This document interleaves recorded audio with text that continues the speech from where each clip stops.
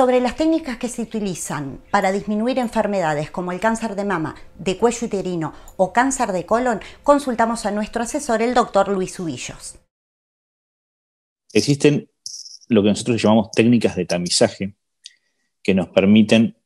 en algunos casos, en algunos tumores, como son principalmente el cáncer de mama, el cáncer de colon y el cáncer de cuello uterino, encontrar la enfermedad en etapas muy precoces, cuando son curables, o incluso en etapas en que todavía no se desarrolló el tumor y que podemos eh, resecar las lesiones para evitar que se transformen en un tumor.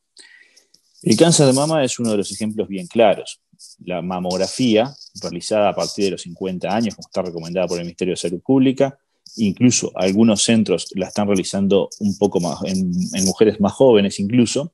nos permite detectar la enfermedad cuando está en una etapa bien precoz y la enfermedad es curable. Por lo tanto, es muy importante realizar esta técnica para poder detectar la enfermedad de forma precoz y que sea curable.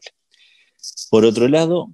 para el cáncer de colon, la detección de sangre oculta en la materia es también una técnica muy sencilla y muy importante para poder detectar un sangrado a nivel digestivo y que este, esto lleve a la realización de una videocolonoscopía que nos permita encontrar ya sea lesiones malignas pequeñas en etapa curable de forma oportuna o encontrar lesiones premalignas como los adenomas y poder resecarlas en ese momento y evitar que progresen a desarrollar la enfermedad.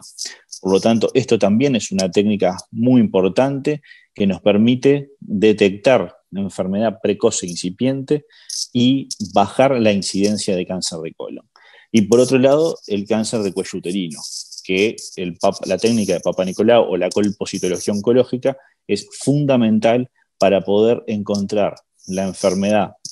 previa a que se desarrolle un cáncer o cuando es un cáncer muy incipiente, hacer una resección limitada en la mayoría de los casos y de esta forma evitar la progresión hacia una enfermedad más avanzada y curar la enfermedad.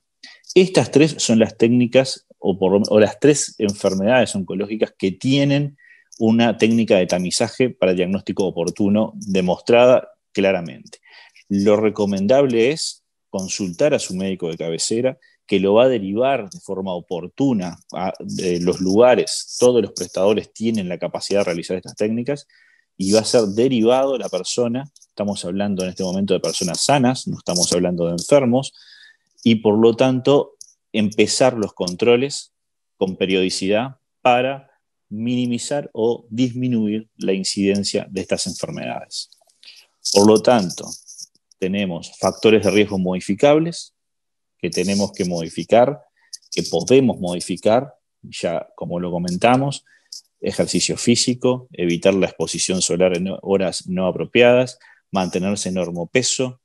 mejorar la dieta y, por otro lado, por supuesto, no fumar. Por otro lado, también tenemos las, las enfermedades que no podemos muchas veces evitar, pero sí las podemos diagnosticar de forma oportuna, y esto es fundamental con las técnicas que ya mencionamos, como la mamografía, el Papa Nicolau y la detección de sangre oculta en la materia.